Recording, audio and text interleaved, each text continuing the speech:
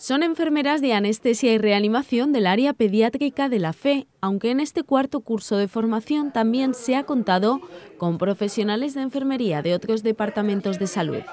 El objetivo es mejorar los conocimientos de la enfermería en anestesiología y hacemos cuatro grupos de enfermeras, eh, intercambiamos pues todo lo que se, en teoría es un simulacro de lo que se hace en un quirófano y de los problemas que hay, cómo se abordan, cómo se solucionan y, o cómo se deben solucionar. Y para ello se forman en la teoría. Nos lo pidieron un poco las enfermeras de quirófano, un poco las de la guardia, que hacen un poco de, de todo. La idea era eh, refrescar los conocimientos que ellas tienen de lo que están haciendo todos los días, al entender las bases de por qué monitorizas de una manera o por qué utilizas cierta medicación o cómo reaccionar en ciertos momentos facilita mucho las cosas y, mejora la seguridad y la comunicación en el quirófano. Pero también en la práctica. Pepe, te vas a dormir, ¿vale? Te como propo. Muy bien. Venga, respirando, cariño, que te vamos a cuidar un montón. Muy bien. Pepe es un niño de 6 años, pesa 25 kilos y van a intervenirle para extirparle las amígdalas.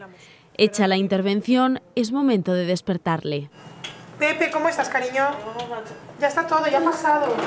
¿Estás bien? Venga, respira hondo. Vale, respirando, cariño. Muy bien. Venga, coge aire grande.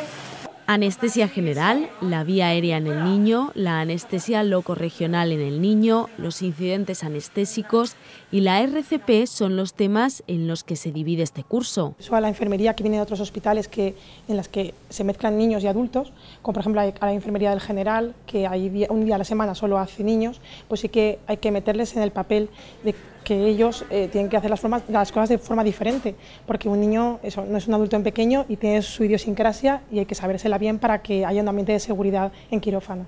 En el despertar de Pepe han surgido algunos problemas.